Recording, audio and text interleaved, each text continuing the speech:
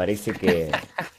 Parece que voy a tener banner que me represente por allá. A ver, déjame ver si te lo puedo mandar al pedo, pues para que la veas vos también ahí, ya que no lo vas a poder ver. Ahora se lo muestro a la gente. Me acaban de Mandale, mandar mandale.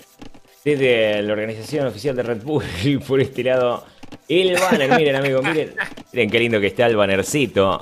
Acá tenemos, ahí tenemos el banner que nos va a estar representando durante la cobertura de la Red Bull World Legacy, una canasta llena de pancitos, claro que sí.